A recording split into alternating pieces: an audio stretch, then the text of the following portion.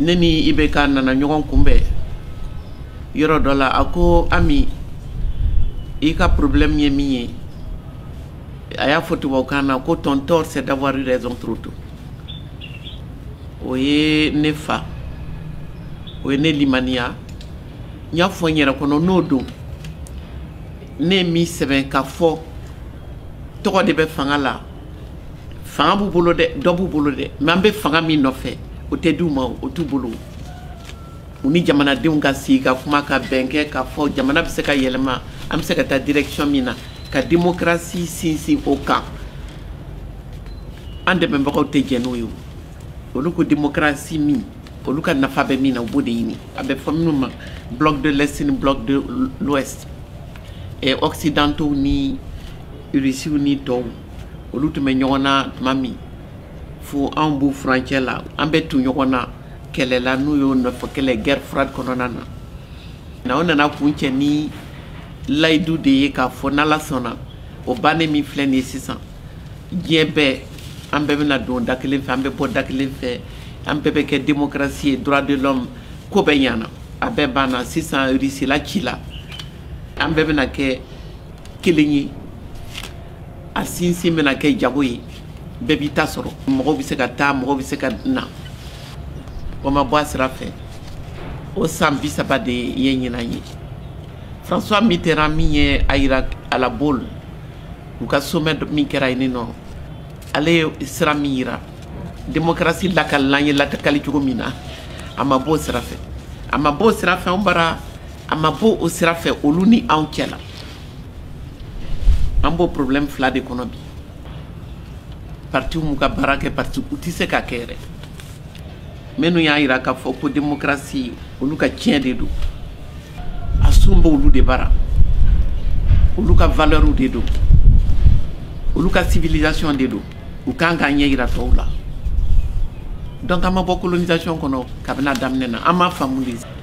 sisan y'a faamu parce que a tiɲɛna fan bɛɛ a tiɲɛna u yɛrɛ bolo n'u ko k'an ka taa vote an ka fɔ an sɔnna mais eh, vote kɔnɔna na kalafili kɔnɔna na a ka kɛ sababu ye an ka minnu bɛ fanga nɔfɛ k'u ɲininka puisque économie taabolo ye nin ye u ko ko suguba don sugu belebele ko bɛɛ b'i ta sɔrɔ comme anw t'an ta sɔrɔ la anw denw de bɛ batonw kɔnɔ olu de bɛ e tola jiw la olu de bɛ gɛn olu de bɛ ɲami olu de bɛ kaso kasow la siyako dara kɛnɛ kan sisan u ka système ni kabini traite négrière la ka taa jɔnya k'u yɛrɛ bara fo ka taa se bi ma an ma lafiya an bolola sɔnna an m'an sago sɔrɔ a kɔnɔ n'i ye réflexion kɛ mali kan ka kɛ an ka jamana kelen kelen bɛɛ kan k'i pan o yɔrɔ kunna i ma foyi faamu i b'i kun fɛ anw k'o de ma an ka kɛlɛ in na que racisme systémique racisme de don fɛn o fɛn bɛ ka kan na jɔnmaya kɛlɛ de don fɛn bɛ ninnu bolo an ka fisa n'u ye an b'a bɔ su la an b'a bɔ su la diplomasi la keguya la n'an ma se k'a sɔrɔ a bɛ kɛ kolo ni fasa ye an bɛ marifa ta an bɛ don ka ni marifa ye an bɛ kɛlɛbolo sigi ka fɔ olu de ka kɛlɛ don fo ka kɛ wajibi la pandan k'u bɛ ka ɲɔgɔn kunforoko bɔ an b'a organiser ka t'u ka fɛnw piye an b'o processus de kɔnɔ bi min dara jamana kan o de dara i bɛ ka yɛrɛ kan a bɛ degun de kɔnɔ i bɛ fanga ta contexte min kɔnɔ anw ka contexte ni contexte particulier de don inédit a ma kɛ yɔrɔ si i bɛ fanga ta a bɛ fɔ k'i ka situation min gérer e t'a dɔn min b'i ɲɛ e t'a dɔn min b'a kɔnɔ parce que a dabirilen don u m'a f'i ɲɛna u ko de k'u nana ko ka n'i sauver a tɛ se ka fɔ u tɛ se ka fɔ an seginna ka na parce que an ni tɔw bɛ ɲɔgɔn na anw tɛ bɔ nɔgɔ la n'an mana ka n'aw ta bɔ si o tɛ o tɛ se k'o fɔ mɔgɔ si donc u b'a fira a da kan min b'a kɔnɔ u t'o fɔ an ye wa minnu man'o fɔ fana u b'a fɔ k'olu y'u juguw ye mais ala barika la bi bɛɛ bɛɛ de da bɛnna ban bɛɛ de y'a faamu sa ka fɔ k'an lakana o kɛlɛ tɛ faransi yɛrɛ ka lakana a b'o de ɲini faransi yɛrɛ ka sɔrɔ a b'o de ɲini faransi ko k'an ka mɔgɔ de ɲini ka d'a ma min bɛ se k'o baara kɛ élection ka kɛ sisan sisan a kana a kana tɛmɛ février kan o de tun bɛna emmanuel macron permet puisque a yɛrɛ ye candidat ye a b'a fɛ u ka élection bɛna kɛ n'a tun tora a ta la mɔgɔ ka sigi min y'a sagona mɔgɔ ye min bɛ se ka ko t'u ta la o de tun b'ale nafa a kɛbaliya o ye fa bila la a kana kɛ a ko ni rouge minnu bɛ yen k'an kana kuma yad ni kufa fɛ ko n'o tɛ k'a bɛ ta taali ma bɔ sisan ko ni élection ma kɛ k'u bɛ ta taali ma bɔ sisan ko Wagner nana ko n'olu nana k'u bɛ ta wa taali tɛ bɔ a tɛ bɔ a tɛ bɔ kun min na parce que u mana anw kama u ye kɛlɛ in kɛ prétexte de ye pour que ka segin ka na k'an recoloniser k'u sinsin yan i bɛ k'a ye nin bɛɛ faamu a y'a caman muɲu mais a ye fɛn dɔw kɛ i bɛ ka yɛ kɛrɛ komi a ye sɛ n'a bo tobi ka sigi u kɔrɔ à partir du moment où a ko ko eh, jamanadenw y'a ɲini fɛ sisan kɔni n yɛrɛ ɲɛ bɛ a ko n yɛrɛ y'a ye a tɛ se ka kɛ cogoya si la fo an ni yadi ni ko fa ka kuma ko bɛɛ tiɲɛna o yɔrɔ de la o fɔdon ye bi ye an tanyana mɔgɔw tɛ segin o yɔrɔ min kan ka fɔ a ka mangoya u ye fɛn caman fɔ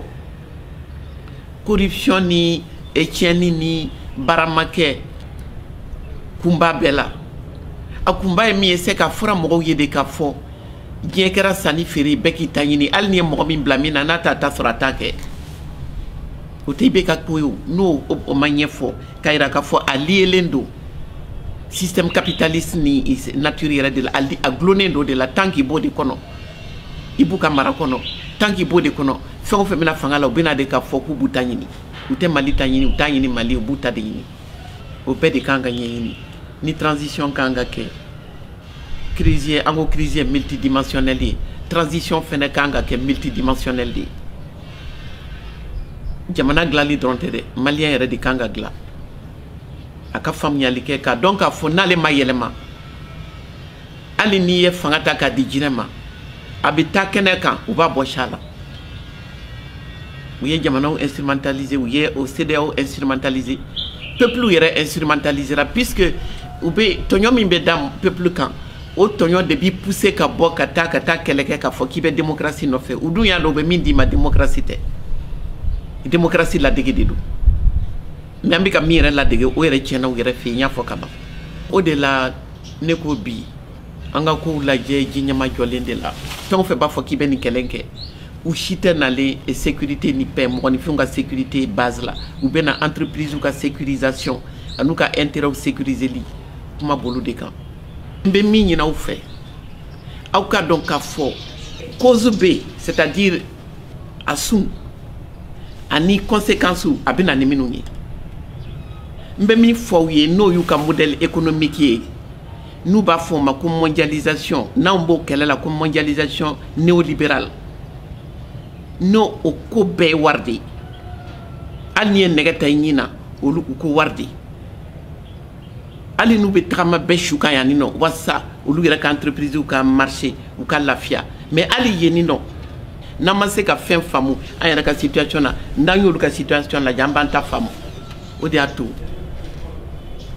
transition ye ni transition si man kan une transition de rupture parce que an y'a faamu tɔw b'an lajɛ tɔw ka juru b'an na dɛ minnu b'an dɛmɛna n'u b'an an balima minnu bɛ k'an dɛmɛ n'an dɛmɛbagaw bɛ k'an lamɛnna de an bɛ mun anw bɛ ka mun f'u ye an bɛ se ka min f'u ye maliko la n'an taara ka taa bɛɛ mɔmɔ ka di ɲɔgɔn ma k'a fɔ ko cɛ kelen k'o de ye jamana bali ka taa ɲɛ k'o de ye kɛlɛ bali ka ban ko tiɲɛni de kɛra corruption kɛra o bɛɛ kɛra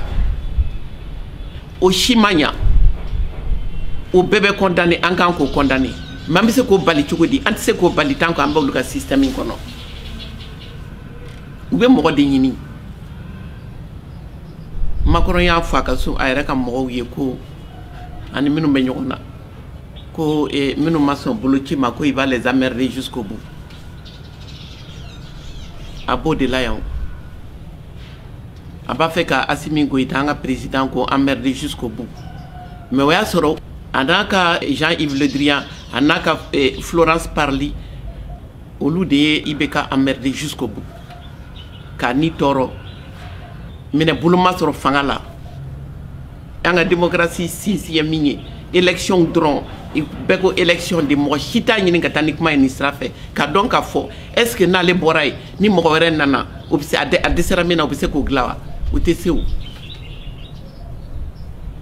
an bɛ se u bɛ ka ɲɔgɔn ɲininka bi ko est-ce que situation min créelen filɛ nin ye a bɛna kun cɛ cogo min puisque wari bɛna gɛlɛya fɛn bɛɛ bɛna gɛlɛya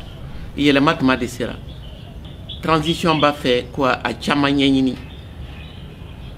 n ye wele in titre kɛ Donra a bandonnen don p ko ko n'u y'a taara ko n'olu tun na ko mali yɛrɛ tun tɛgzsi bilen ko n'u taara o y'an ta cɛnnen ye mɛ ko n'u yɛrɛ taama ɲɛnabɔ ne k'o de la sa n ko fɛrɛma ala ni cɛ na u ka taa qu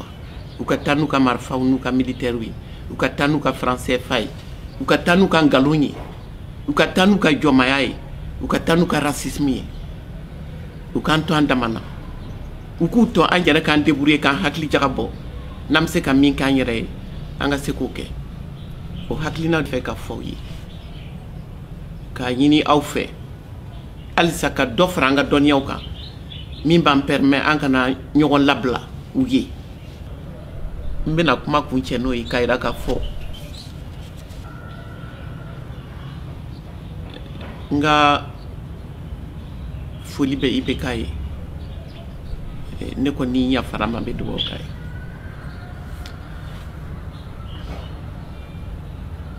an bɛɛ ka yafa ma